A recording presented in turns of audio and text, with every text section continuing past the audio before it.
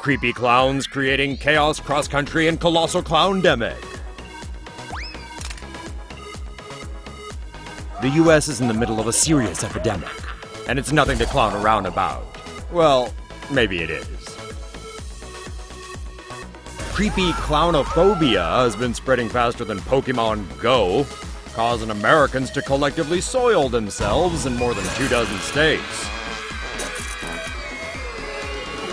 The insane clown posse first came to town in South Carolina in late August after rumors they were spotted trying to lure children into the woods. Enter social media, and now copy clowns are running amok, with police busting people for clown related activity. Last week, clowns responded at Penn State, so naturally, thousands of PSU students, rather than hit the books, hit the streets to hunt them down. Clowns have now been popping up in Canada, the UK, and even down under. Where will they strike next? How long will it be before there's an actual clown clownicide?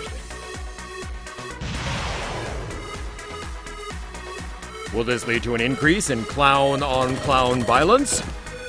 And with Halloween just around the corner, guess we're going to be seeing a lot of sexy, creepy clowns this season.